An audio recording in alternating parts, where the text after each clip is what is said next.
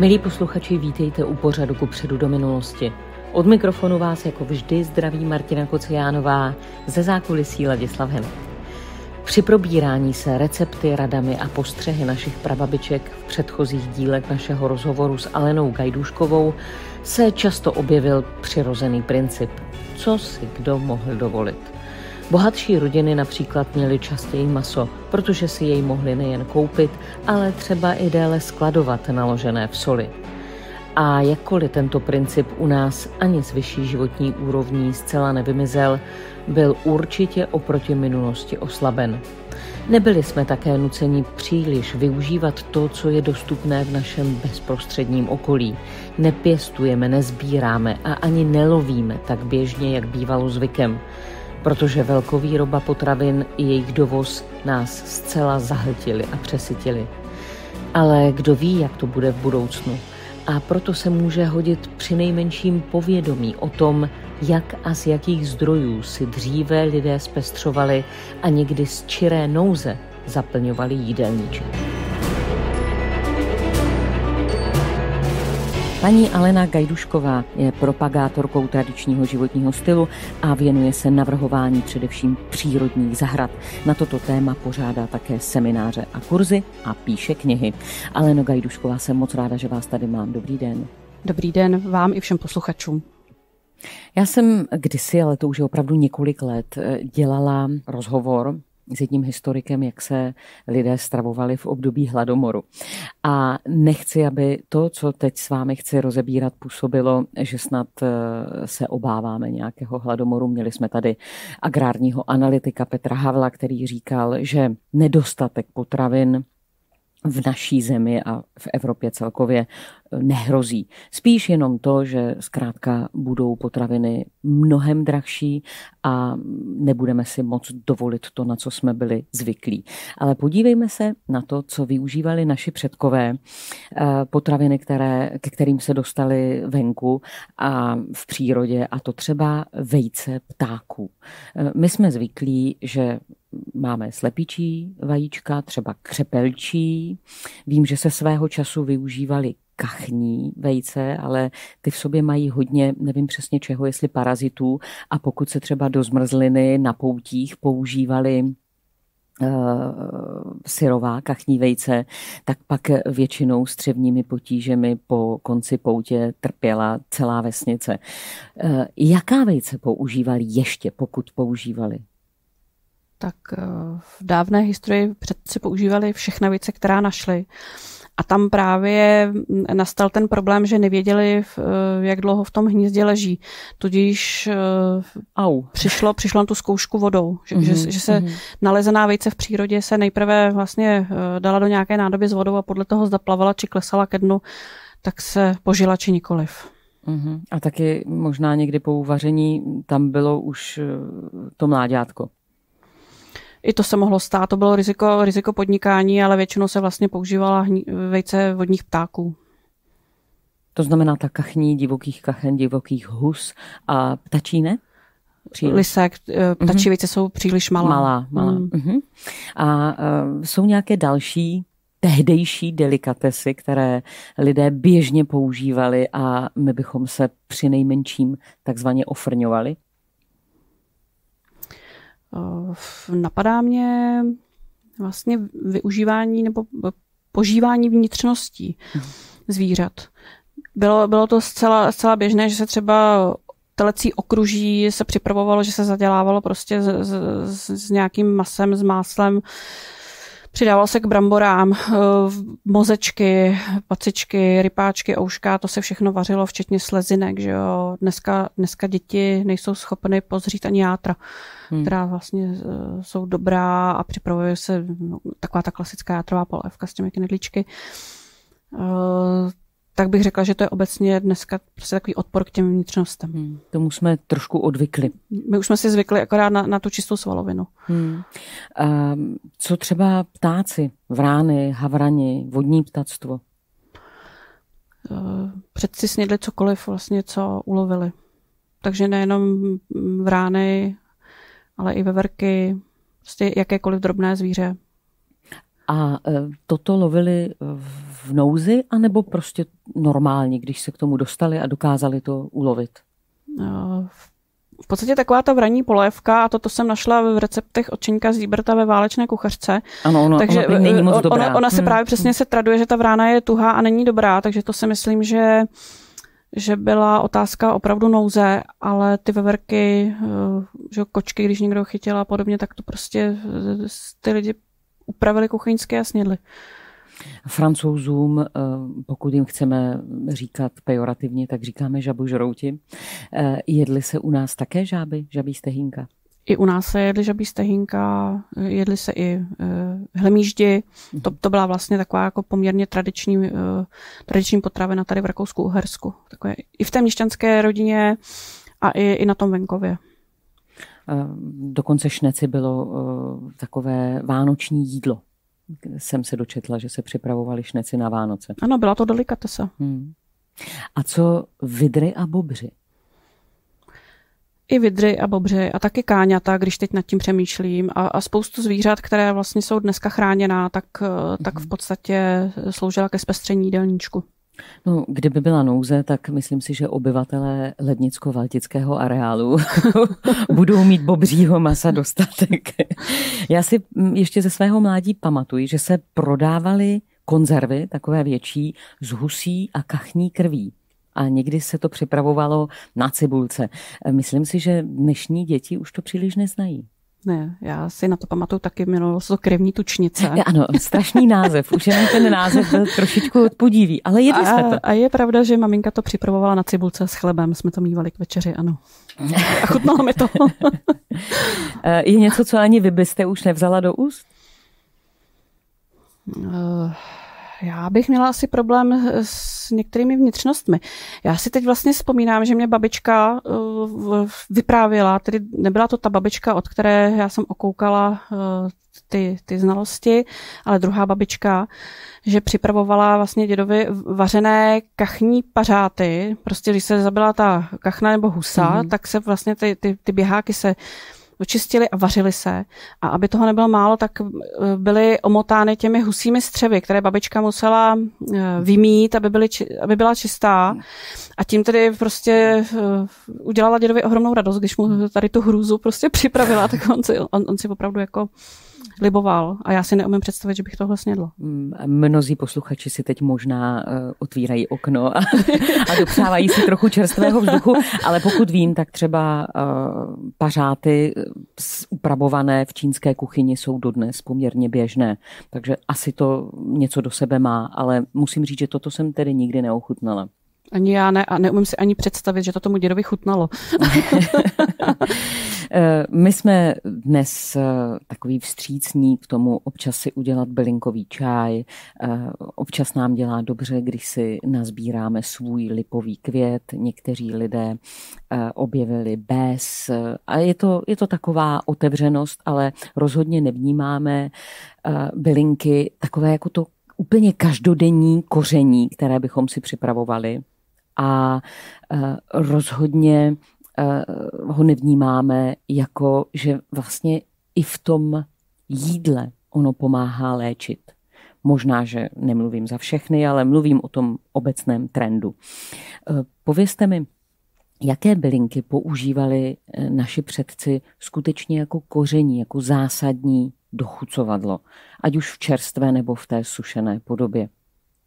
Tak určitě to byl česnek, byla to pažitka, česnáček. Používal se peliněk brotan, který vlastně eh, rostl téměř u každého domu a lidově se mu říkalo boží dřevec. A z toho je vlastně i poznat, eh, jakou důležitost pro ty lidi dřív měl, protože on, je, on, je, on nádherně voní, ten brotán, ale je nesmírně hořký jako každý peliněk.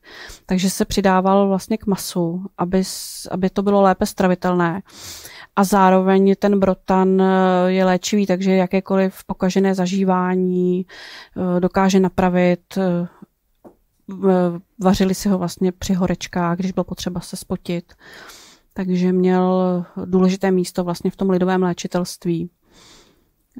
My jsme určitě zvyklí běžně vařit s tymiánem a s dobromyslí, které říkáme oregano. Ano. Ale uh, už třeba méně se používá saturejka, která se dřív do těch jídel ale dávala proto, aby třeba tučná jídla byla lépe stravitelná.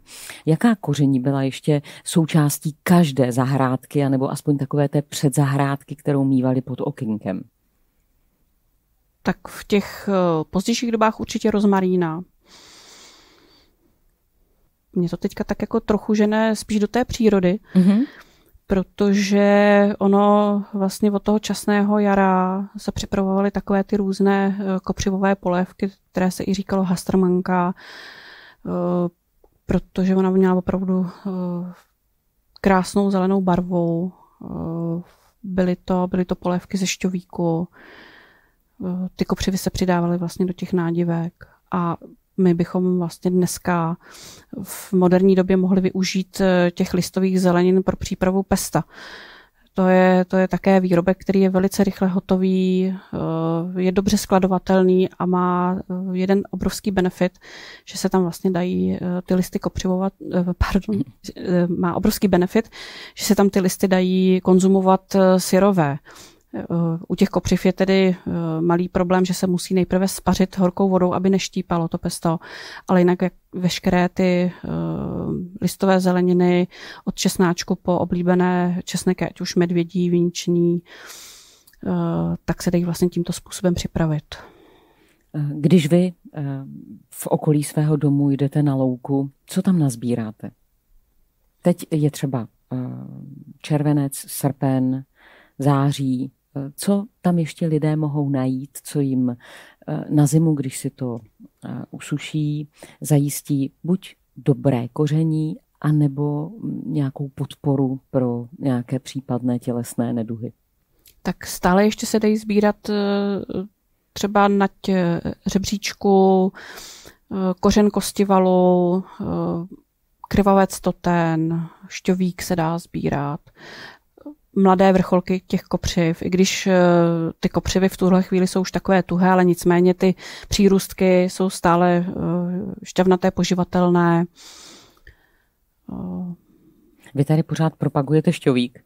Eh, není ta kyselina šťavelová trochu nebezpečná, protože třeba vím, že rebarbora eh, se má sklízet, tuším, jenom do června, protože pak už je tam té kyseliny šťavelové příliš velké množství a není to dobré pro zdraví klouby a tak. Jak je na tom ten šťovík? Tak šťovík by samozřejmě neměli konzumovat lidé, kteří mají nemocné ledviny. Uh-huh. To určitě ale on je velice dobrý.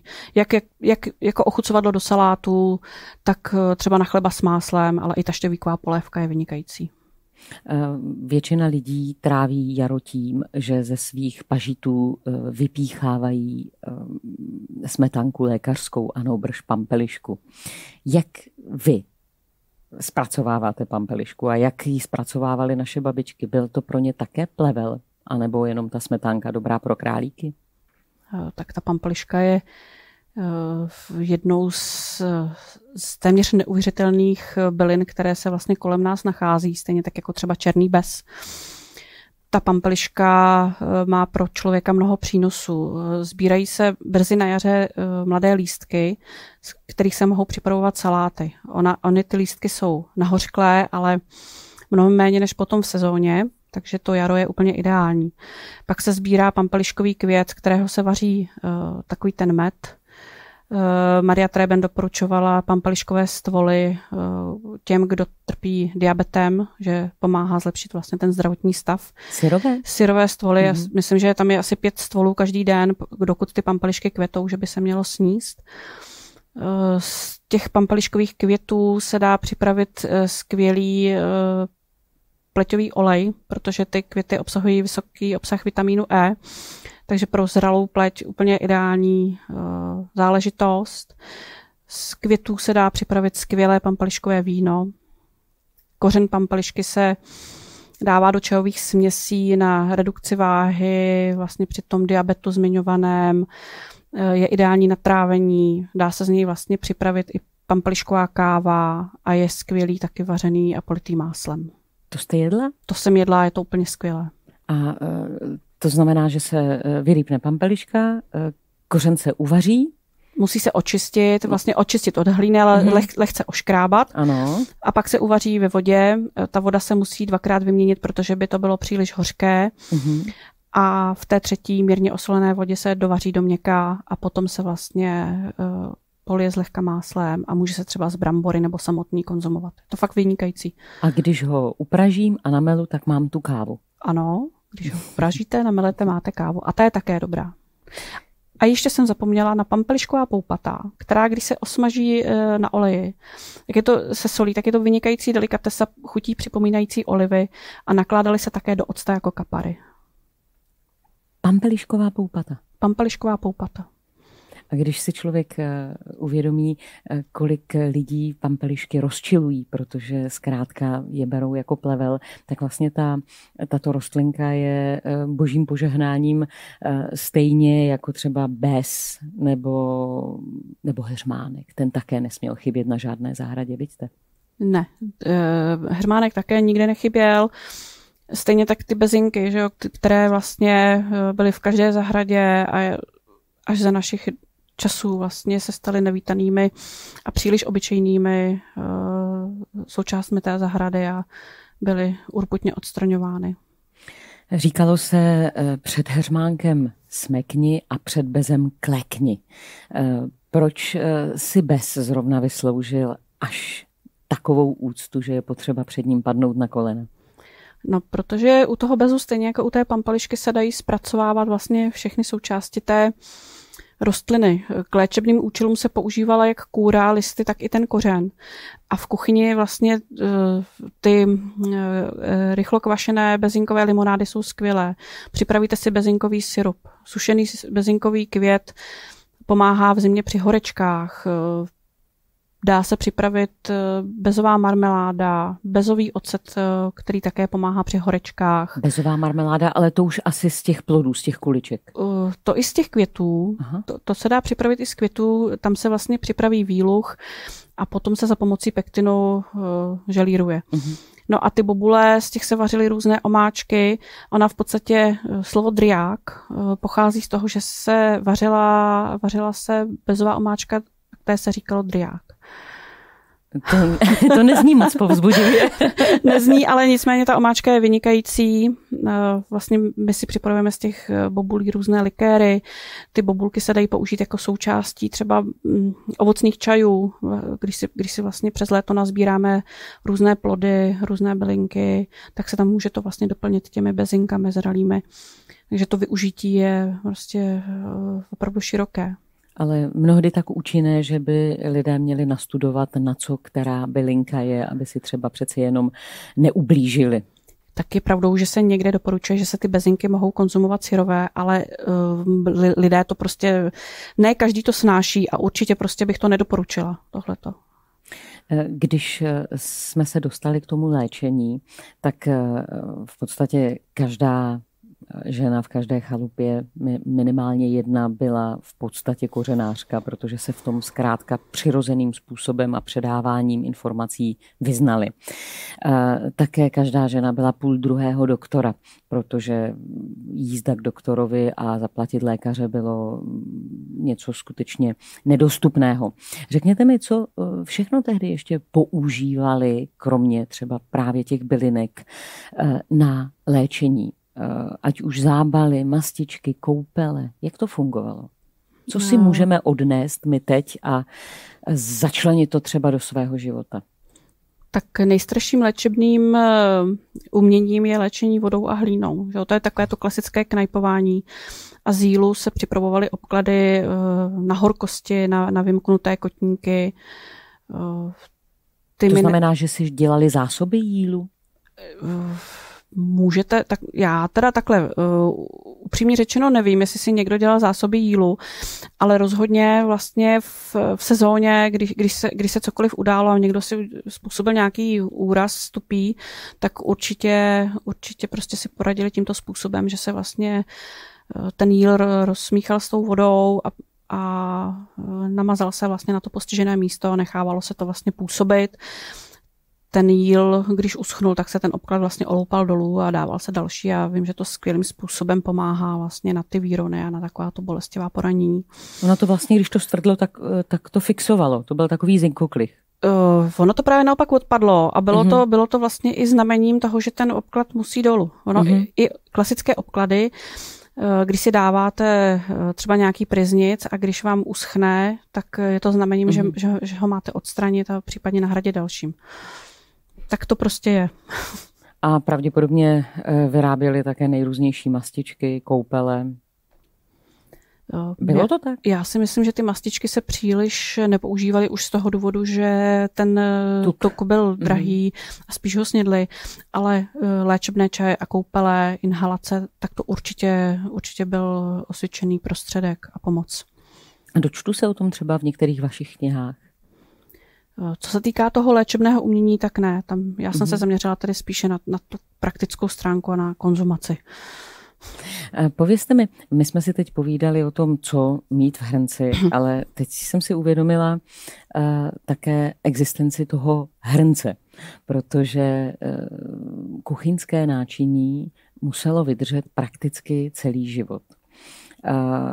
Stejně tak jako příbory a vůbec veškeré předměty, které se používaly, nějaké ty pekáče, nebo jak se u nás říkalo, brutvan a podobně. Z čeho to bylo nejčastěji a jak to, že to vlastně většinou v té domácnosti vydrželo celou dobu? tak první hrnce byly klasicky hliněné hliněné. a protože se vařilo zpočátku na otevřeném ohni, tak většinou mývali i nějakou trojnožku nebo nožičky, aby vlastně na tom ohništi stály a zároveň se tam vlastně mohl připravovat ten pokrm. A v, eh, v těch eh, lidových, eh, v tom lidovém prostředí potom vlastně bylo nádobí třeba železné, posléze smaltované. A to jsou všechno materiály, které, které mají dlouhou trvanlivost. S tím no. smaltovaným nádobím se nesmí, nesmí s tou litinou někde bouchnout, protože to fakt, že tak litina je křehká. Ale myslím si, že si dávali opravdu dobrý pozor, aby se takové hrnce neponičily. Eh, náčiní bývalo dřevěné, eh, kvrdlačky se dělaly vlastně z těch smrkových větví, že jo, to, to, to si pamatuju ještě, já, že jí babička měla. To se dalo poměrně snadno nahradit a eh, co se týká těch hliněných hrnců, tak chodili po vesnicích dráteníci a vlastně pokud se takovýhle hrnec nakřápal, tak ho omotali tím drátkem, udělali mu takovou ochranou klícku a ten hrnec sloužil dál, případně vlastně ty praskliny, aby ten hrnec netekl, tak Přišel se to vymazávalo, dráteník, vymazávalo se to mm-hmm.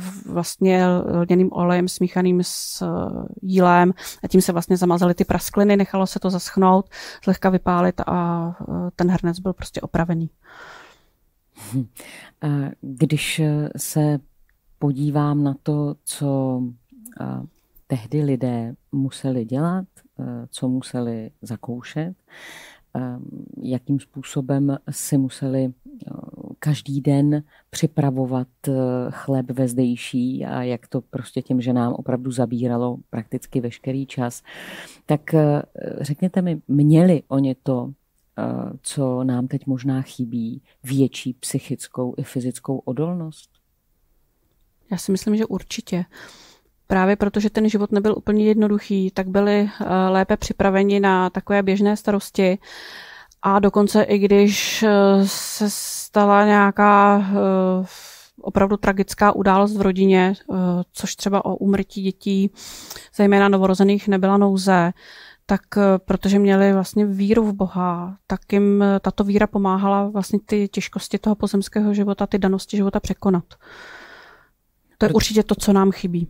Protože my si můžeme tady říkat o tom, jak uskladníme mrkev, o tom, že v nejhorším případě sníme káně, eh, že možná se naučíme jíst vnitřnosti a zase se budeme třeba eh, věnovat pěstování na zahradách, ale faktem je, že v případě toho, že by najednou na nás přišla nějaká krize, třeba i strádání z toho nadbytku, tak eh, že vlastně to nejhorší, co nám hrozí, je to, že to neuneseme psychicky.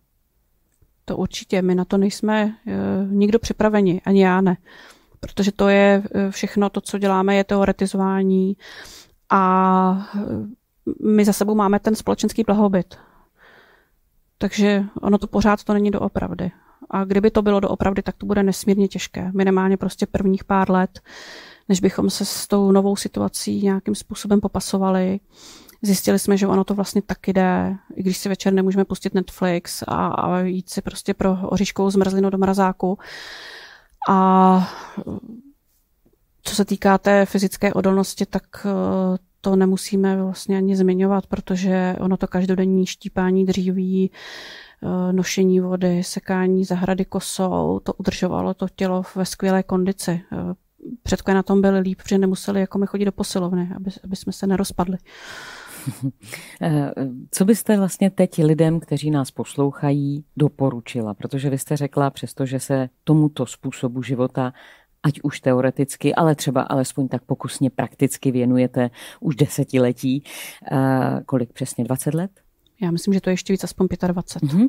Tak přesto říkáte, nejsem připravená.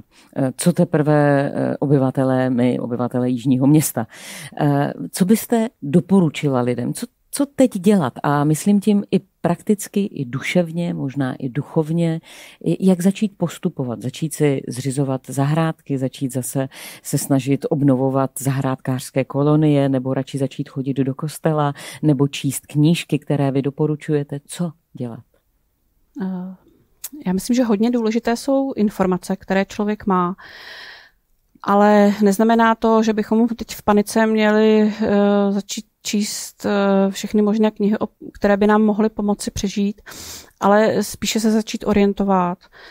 A uh, ty praktické dovednosti, které třeba já mám, tak mě pomáhají celý můj život, bez ohledu na to, jaká situace mm, kolem mě momentálně je.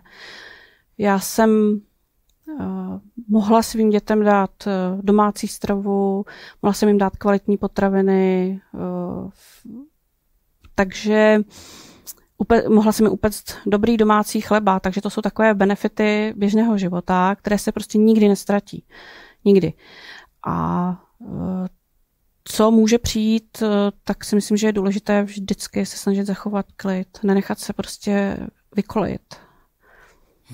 Protože jsou situace, které nemůžeme ovlivnit a e, přesto v nich musíme se trvat. Takže by řekla bych, že ten klid. A kde ho hledat? Uvnitř sebe. Jak jste na to šla vy? Pomáhá vám pobyt v přírodě nebo vědomí toho, kolik toho už víte o životě ve zdejším? E, to určitě jsem eh, více klidnější, že eh, vím, jak bych nasytila rodinu, vím, jak bych zatopila v kamnech, vím, jak bych se dokázala postarat o hospodářská zvířata.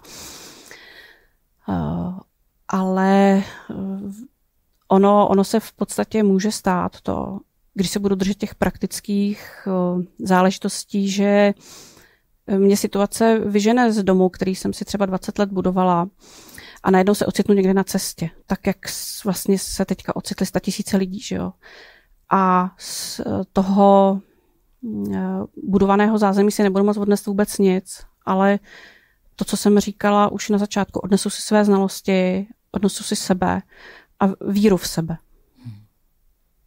Eh, kdybyste si mohla vybrat cestu v čase, jednosměrná jízdenka někam do nějaké doby minulé, jaká by to byla, na jaké místo a pokud vůbec? Já si ten život v historii příliš neidealizuji, hmm. ale pokud by se to týkalo jenom mojí zvědavosti, tak uh, měla jaká renesance. To je hodně do minulosti. Tam, to bych, renesanční život bych ráda poznala nabízí se prostě ty benátky. Takže vy vůbec nemyslíte na polní práce, ale na život, ale na život v nějakém dožecím paláci. Ano. Já myslím, že v danou chvíli by to jako poznávací zájezd bylo velice příjemné. A navíc práci na poli uznám, ale dožecí benátky nikoliv. Paní Aleno Gajdušková, tentokrát vám nemůžu přát, jak se to přává, aby se vám to splnilo, protože pravděpodobně toto splnitelné nebude, ale přeji vám, abyste byla stejně tak eh, šťastná a silná v životě, který máte a vedete. Díky moc. Děkuji vám za přání. Milí posluchači, čtvrtým dílem jsme završili naše povídání a rady Aleny Gajduškové. Tento i všechny předchozí díly najdete na našem webu Rádio Univerzum, na Facebooku i YouTube. A možná je právě teď v srpnu správný čas některé recepty a fígle vyzkoušet. Zároveň děkuji vám všem, kdo nás posloucháte a stále podporujete na účtu 10 10 34 90 16 lomeno 2700. Díky vám jsme stále tady. S Ladislavem Henkem se na vás těšíme zase příště. Zatím se mějte hezky a něco pro to dělejte. Nikdo jiný to za nás neudělá.